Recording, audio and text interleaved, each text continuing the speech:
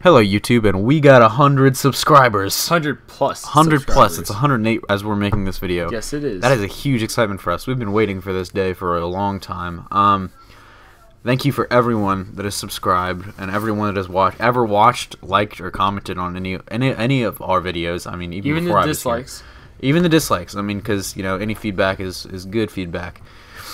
Um, that being said, we're doing a very very special video for you today. Um, it's going to be the serum matchup, which would be which is the better, I guess, uh, kind of, you know, superhuman serum, uh, the venom derivative or the super soldier serum. And uh, you know, this was suggested to us by my stepdad Mike. Uh, so shout out to him for that. Uh, but you know, in the wake of you know the Avengers and with Dark Knight Rises looming on the horizon, uh, this is an interesting matchup, and it, prevent, it presents an interesting question. Uh, lots of variables to consider when you compare the two, uh, and I guess I'm gonna start it off with uh, the Venom derivative. Yeah, just first off, take note. We have the pictures of Yeah. Cap. We have pictures of Bane, mostly because not we're not comparing the characters with the serum, but we're comparing the serum itself. Yeah. So Those just- are just yeah, yeah, we just have it there because those are the most popular Yeah. and. You know, when you think of Super Soldier Serum, you think of Captain America. When you think of the Venom Serum, you think of Bane. So Yep. And this is. Alright, so uh, I'm going to start it off. Um, Yes. You know, Bane, of course, being, you know, the most obvious face of Venom, the Venom derivative. Um, it's a highly addictive super steroid. That's the bottom line. And that's and that's that really sums it up perfectly. It's highly addictive, but it's a super steroid. Um, me and Hybrid were talking about this earlier, uh, and we were thinking about it. And you know, Captain America is peak uh, is peak human. Uh, with the super soldier serum, it kind of jumped him to peak human ability in you know strength, speed, and stamina, and durability. But and yet, when we were doing our Captain America versus Batman video, that was one of the hardest things to do because both of them are peak human. Captain America got his through serum, and Batman got his through training. Um, and I, Batman ended up winning winning that matchup by votes. by votes. Uh, you guys voted. You guys said Batman. Um, and that that's pretty interesting to consider. Uh, when Six you look to at, nine. Six to nine, yeah. that's something to consider when you um, when you're looking at this, because uh, Bane being a Batman villain, someone brought up that Captain America is pretty similar to Bane in the fact that they both use a serum to take them uh, to strength. But I think they also said that you know, then Batman being the intelligent guy that he is, as well as being peak human, Batman was able to win uh, eventually. Uh, so you know, Venom, like I said, it's highly addictive, and that's really the pitfall of it. Is that it's um, you, you get addicted to it fast. That's Bane's problem. That's why he's got to have a supply constantly into the back into his neck, so that you know, or at least he's in contact with it more, a, lot if he's not hulked out all the time. But um, because it's it's really addictive, and he goes through super withdrawal. And when studying Venom, uh, Batman was trying to overcome its limitations and learning about it and stuff. And eventually, he just had to lock himself in the Batcave and detox for a couple days um, to get it out of his system, just because it was so addictive. Um Because the it would make actually being not around Venom if you're addicted to it makes you weaker than when you started. So the and it, it's like I said, it's got like massive withdrawal effects.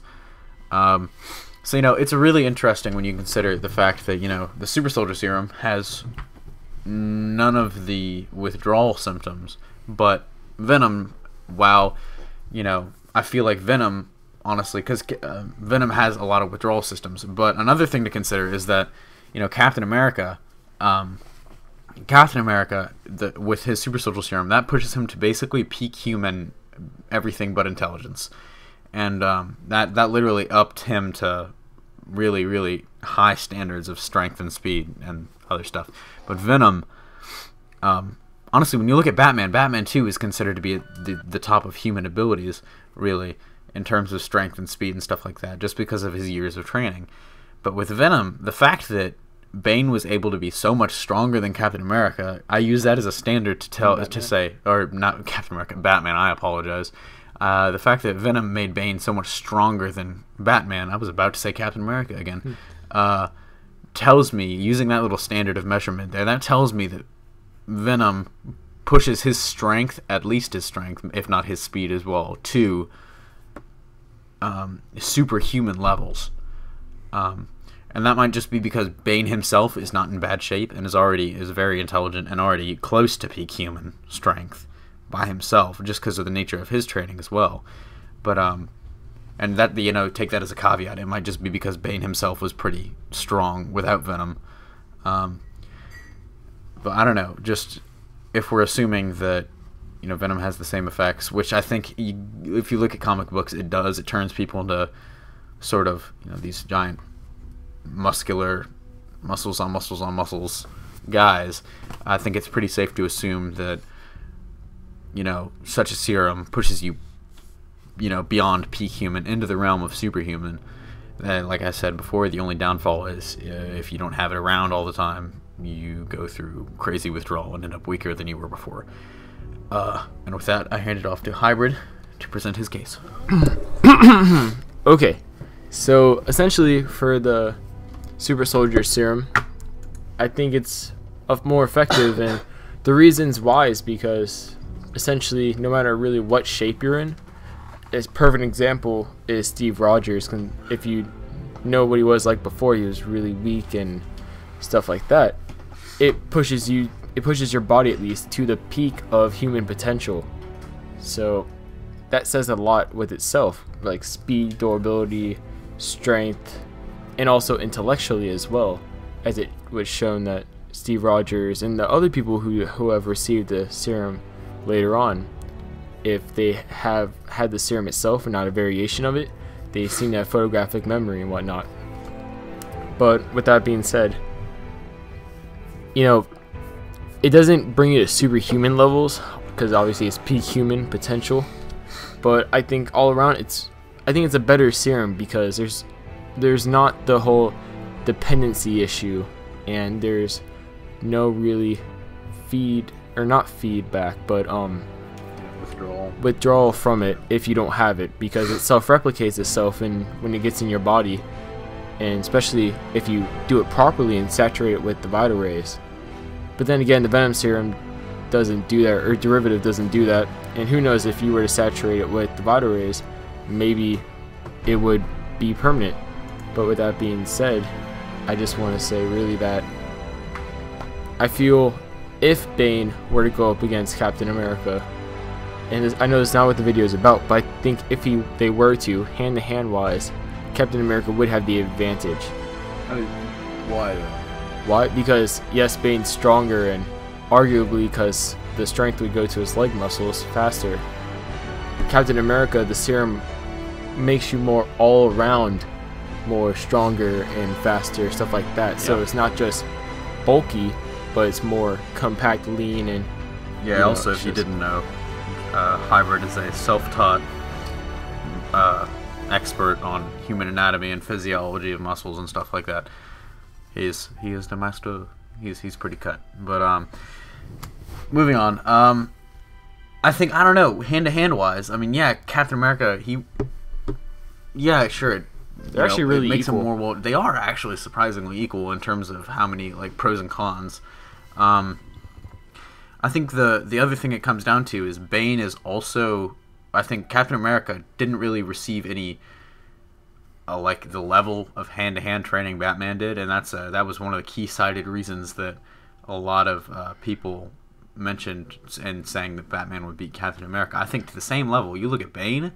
Bane had been training like his whole life, and True. since because he was, if you don't know anything about Bane, he was born in jail for the crimes of his father, literally, uh, and he was raised in jail, and as such became pretty tough and was he was experimented on and he traveled around trying to challenge himself to beat you know.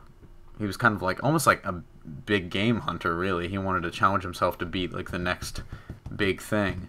Um, but so i mean he trained and he trained and he trained and he learned all these fighting styles or not all these fighting styles but he came became really good at the fighting style he ended up using which is a very uh, you know it's it's almost translatable to mma fighting today uh, in terms of how he fights. Lots of you know grapples. If you didn't know, he breaks Batman's back. Uh, in the comics and Knightfall. Um, and he's also kind of a shrewdly analytical. Um, but you know, we're not talking about Bane or Captain America. We're talking about the serums. Uh, so went off on a tangent there, but you know, just I, I kind of agree with Hybrid that Super Soldier Serum would make you a little more well-rounded, and it doesn't have the negative effects of withdrawal. But I think just because of uh, like in a, in a like close quarters fight, like in a ring or something like that, for no other Anybody with it. arena, anybody with Either Super or. Soldier Serum, it would automatically push them to the peak human abilities. Um, but I feel like Venom, Venom's uh, the fact that Venom just makes you so strong and so fast, uh, or at least strong to the superhuman levels, and I guess fast in the.